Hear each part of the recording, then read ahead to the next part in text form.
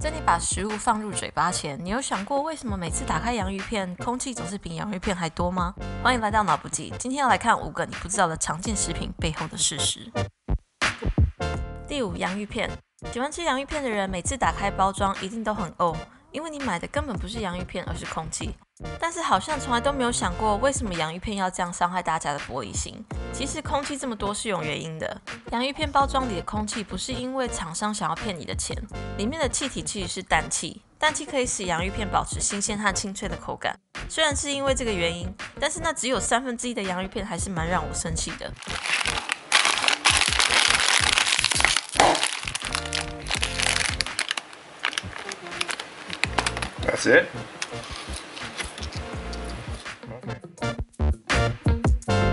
第四，鸡蛋红点。如果喜欢吃鸡蛋的人，大概都有这个经验，就是打蛋后发现蛋黄上有红点。你可能会以为这是受精过的蛋，这个红点其实是因为在蛋形成过程中破掉了血管造成的，但是不代表受精，这只是代表在蛋形成的过程中出了一点错误。鸡蛋在包装工厂内，大部分有红点的鸡蛋都会被挑出来，但是不可能挑出所有的红点鸡蛋，特别是红蛋，所以大部分看到红点的蛋都是在红蛋里面。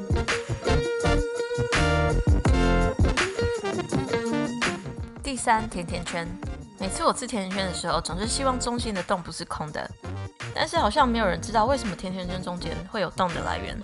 最大众的故事是甜甜圈的造型是一位水手设计出来的。因为炸蛋糕时中间总是没有熟，所以他就将这个面团中间打一个洞，所以它们可以被炸得均匀。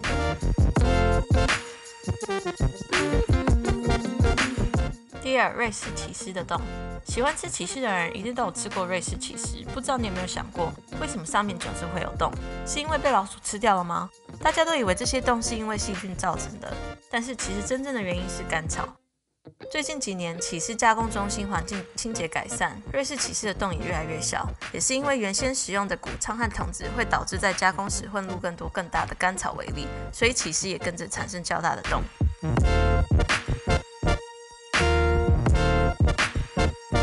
第一，巧克力。每次吃巧克力的时候，外表都会有白白的粉状，我都以为是因为放久的关系。但是为什么巧克力会有这样的白粉状呢？其实这个粉状叫做巧克力发白霜，是由两个物体产生的，糖霜和脂肪霜。糖霜产生的原因是因为在潮湿的状况下，糖霜结块，而脂肪霜只是因为热产生的，两个都是因为厨房地点的关系。但是白粉状也有可能是因为包装时候没有完全冷却导致的。